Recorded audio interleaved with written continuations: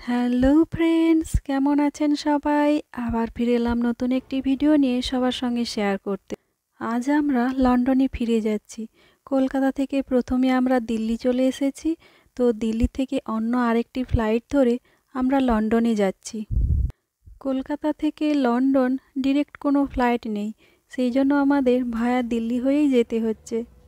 এই যে, এখন আমরা প্লেনের ভেতরেই ঢুকে পড়লাম।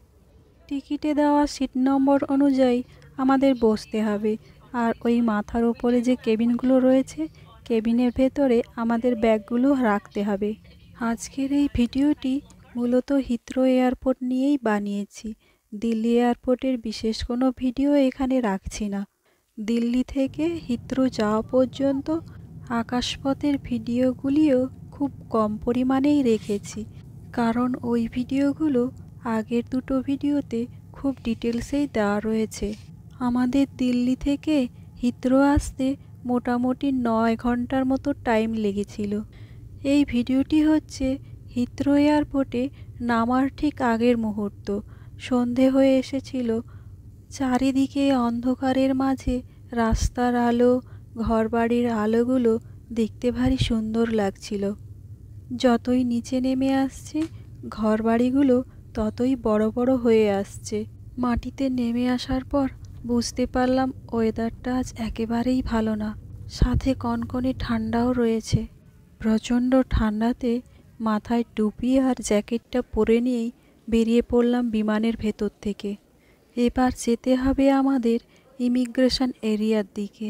প্লেন থেকে বেরিয়েই আমরা ইমিগ্রেশন এরিয়ার দিকেই হেঁটে যাচ্ছি। এই লম্বা জার্নিতে সত্যি আমরা এখন খুবই ক্লান্ত, তবুও তাড়াতাড়ি করেই এগিয়ে চলেছি।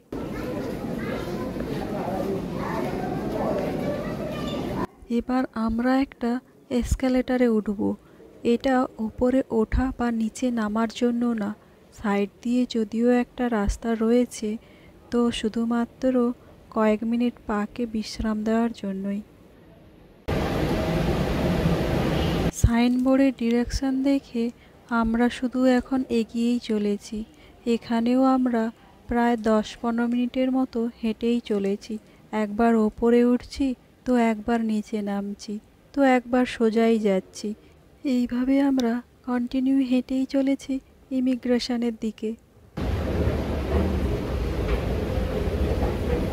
ডিরেকশান অনুযায়ী এই আমাদের ডান দিকেই যেতে হচ্ছে। হেঁটে যাচ্ছি, এখন আমরা বাইরে যাওয়ার জন্য। প্রথমে আমাদের ইমিগ্রেশন করতে হবে, তারপর ব্যাগেজগুলো কালেক্ট করে বাইরে বেরিয়ে যাব। তাড়াতাড়ি করেই হেঁটে চলেছি, কারণ ইমিগ্রেশনে অনেক সময় খুব লম্বা লাইন পড়ে। বাইরে আমাদের ট্যাক্সি অনেক টাইম ধরেই ওয়েট করছে। সাইনবোর্ডের ডিরেকশান অনুযায়ী এবার আমরা ফ্লাইট কানেকশানের দিকে না গিয়ে ব্যাগেজ রিক্লেমের দিকেই এগোবো। এখন আমরা দুটো ভাগে বিভক্ত হয়ে গেলাম। যারা নতুন করে আবার ফ্লাইট ধরবে, তাদের যেতে হবে ফ্লাইট কানেকশানের দিকে।